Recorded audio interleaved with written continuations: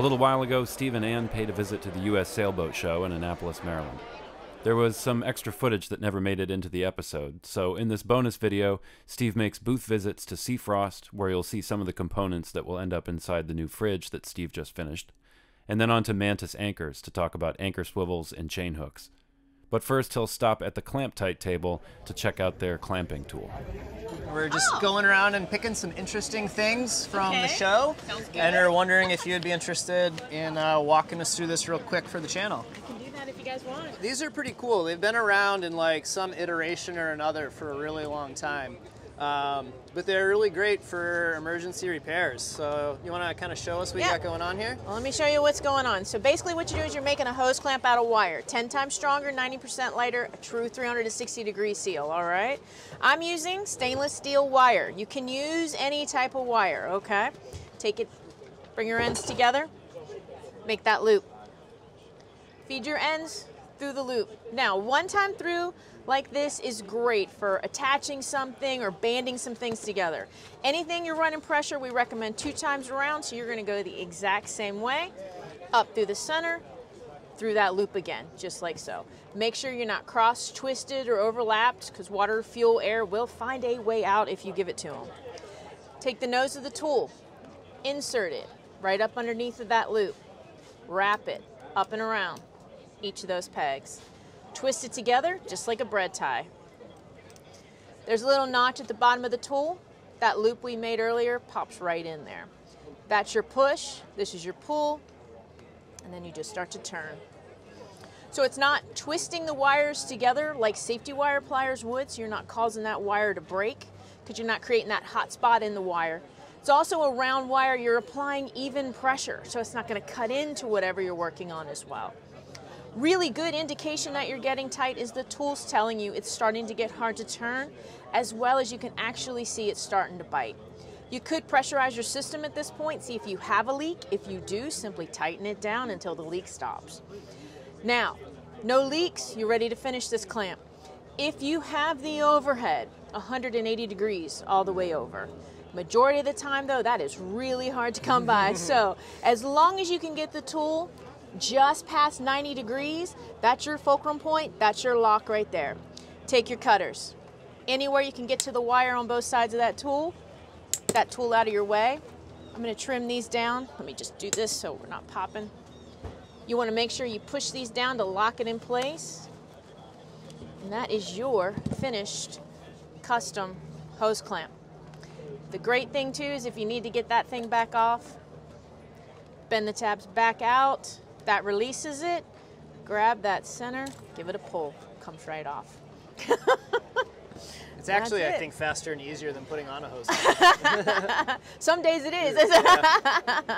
so it's a great tool. Like I said, it works for almost every application that you're using on a boat, car, RV, house. So all yeah, different types of uses. Use copper wire, stainless steel, absolutely Monel, a coat hanger. We've around. even got coat hanger wire. You can go around multiple times if you want to. So all different types. Dock lines, ropes. It's perfect for that. Mousing your shackle.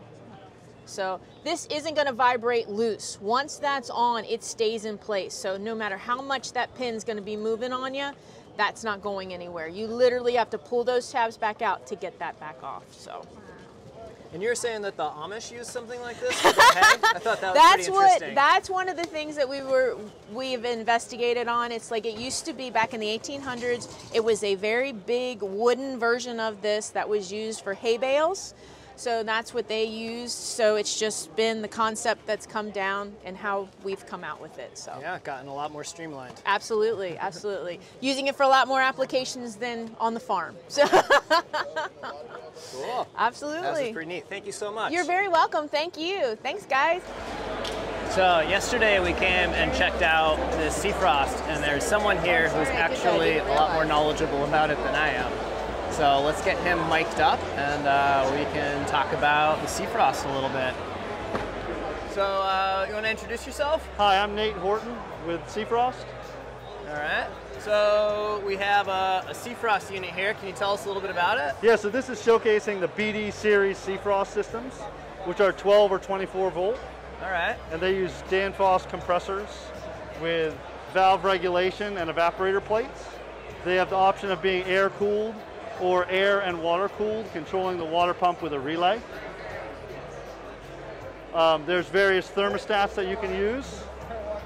There are digital controls, which offer the, I guess, the most control uh, rather than a mechanical control. Um, speed controls that run the variable speed compressors to limit the consumption over time. They're the same BTU per watt at the different speeds. Um, the newer models have an automatic AEO function, which will uh, learn the compressor speed and what's the most efficient. Over here is an example of the evaporator plate. Oh, look at that. You even got a bunch of cold beer. of course. Um, this is an example of a holdover plate and the adaptation to a trade winds style compressor. Um, this would be used with an engine drive um, and kind of an older, older model. This is the new evaporator plate, direct evaporator. The direct evaporator means that the plate is only going to be cold when the compressor is running. So this has a holdover, and that is a direct evaporator. Nice. Yep. Yep. One of the things that I really like about this, of looking at other models, is a lot of the evaporator plates are aluminum and they're really flimsy. And it seems like with a sailboat, with things moving around and filling up that reefer, that it would be pretty easy to, to damage those. And these stainless steel ones seem a lot more robust. Is there any issues with, you know, cramming things in that fridge and stuff mm. bumping against them, or are they No, as robust as they look? The plates are pretty indestructible. We've had people try to put ice picks through them and they have been unsuccessful. Um, the reason we're able to do that is because of the valve regulation that Sea Frost has. They have a constant pressure valve and they, the Sea Frost is really a marine grade system, meaning that all the parts are high quality, they're all component replaceable, and it's not mass produced. So the, the aluminum plates are all stamped and they have dissimilar metals and they're uh, economical to make is the why they do it that way. Yeah. Uh, but the valve regulation has been the most reliable and the most temperature controlled. So that as the condensing environment gets hotter and colder, the pressure and the valve and the plate temperature remain exactly the same. Oh, interesting. Whereas if you have a capillary tube system, your pressure changes with the environment the condenser's in. So it, it, it, it makes it more stable and a much more even temperature. And you have other little fun things like uh, cooling fans on brackets that help move, circulate the air, vertical ice trays that go against the plate, uh, which we don't have here, but um, there's a lot of them out there. Yeah. And you guys also make, uh, correct me if I'm wrong, but a freezer box that goes into the reefer, right? So you have two of those evaporation plates basically forming a box, and Yep. whatever you put inside it would freeze, right? Exactly. Yeah. Those are freezer bins, and another thing about Sea Frost is that everything is fully custom. Uh, we have templates for things that are already done and, and standard sizes, but it's really you're able to uh, make it fit in spaces where you can't just buy something off the shelf and stick it in. Yeah. Um, the other thing is that you work with Sea Frost and the majority, I say every single system, is kind of checked with the company and it doesn't leave until the plan is well developed. Okay. And they really help design the systems as part of the wholesale procedure. nice. Um, so everyone that doesn't work is a, a real problem for them. This is our S1, which is basically our smallest swivel, but it fits uh, quarter inch uh, transport chain, you know, 70 and grade 45 sixteenths, right? So that's our starting right there. This design was based off of what he saw with other swivels where there was a binding happening when you were going to reset. And so, you, uh, like this model here, you can see where it started to bind because they're mostly set to go directly to the anchor. So what Greg did is he put a bow shackle in this to give it articulation in all directions when you're starting to reset. Yeah. And then that swivel is actually down here, away from this setup. So you got nothing in it. It's all streamlined, so it goes over the roller easy. Um, the duplex pin in here is a duplex stainless steel, so it's stronger than the whole assembly. It's oval shaped, so it's got a great holding power. Uh, I've got the S2 on my 3 8 chain on my catamaran, and I've uh, had good luck with it. They just started putting a pin in here instead of the seizing wire. Okay. Which is what um, some folks want something uh, they can just do one thing versus we send uh, seizing wire in it so you can do that and lock that in place. Okay. I'm going to show you this big one here so you can actually see what's inside. So there's this shackle that's holding these two pieces together here. This collar comes off. This is the chain going here. You slide down the chain. There's two pieces here that are holding this. This is where it's spinning, right? And then there's that piece there where the chain is actually going through. Oh, it's very Simple. So it's very simple, right? So the chain is in here. Put your link in. Put that on. Slide it up over the chain. Ha In place. Seize it. Put your shackle back together. Through your anchor. You can also the seizing wire here if you want to seize in place, and you're ready to go. Nice. Yeah, really like it. Swivels on anchors. You know, you ask sailors. I, I think there's three camps. There's I would never, I would always, and those people don't know yet.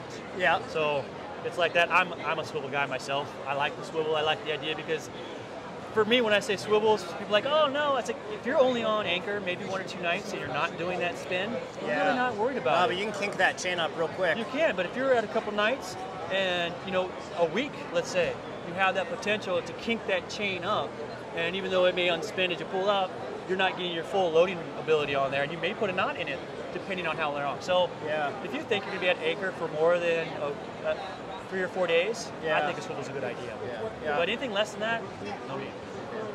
Right? And then And chain hooks. chain hooks all over here. Uh, on your boat, this is going to be this one, hopefully, but possibly this one once you've done all the math. You know, our half inch one. Um, this is also a duplex steel, so it's really strong, right? Made to hold the chain. I don't know if you saw his old chain hook. His old chain was big and square, and it was awesome. It did a great job, but a lot of folks had a hard time manipulating it, um, and it wouldn't go over the rollers very easy, right? Okay, yeah. um, for some boats. This one, the design's more streamlined. It hooks, it's real easy to hook onto the chain uh, for anyone, obviously when you go the other way. And in addition, we've got a strap on there for that when there's no wind. When there's no wind and everything goes slack, it won't fall off. That's the only reason that's there, is to keep it in place when there's no wind. Once it loads up, you know, it's, it's going to grab. Yeah. That's awesome. And you can see braking strength and the size it fits. Comes with the shackle, comes with the strap. This is a new improved strap. This is our third strap. Yeah. We broke a few. Yeah, but Yeah, I'd imagine it leads a tough life. yeah. Yeah, so this is probably going to be would be the one for you. 'cause Yeah. You're, you're looking at 7 16 half inch chain because we're getting to 30,000 pounds. Yeah. Yeah, and to my understanding, Ground Tackle's not somewhere where you want to skip. Nope, nope. I like my boat in the water, not on the rocks. Yeah, there was one that dragged out here yesterday. Uh, Beneteau slammed into another one. They, they drugged their anchor and did a bunch of damage. When I took the water taxi back, they were out there getting them untangled and sorting it out. You didn't get a chance to see what the anchors were, did you? No, no. Probably a Delta. yeah, probably a Delta. Yeah, well, Beneteaus do come with those, so, so Yeah. you see that a lot. So last thing um, on that, that system, we got the uh, we looked at the anchor, we looked at the swivel, and the chain hook is the bridle. Yep. We sell uh, a variety of bridles depending on size of boat and type of boat. Are you on a catamaran that's got um, attachment points like a Fountaine Pajot? Then we've got one with uh, thimbles at those ends that you can attach to it.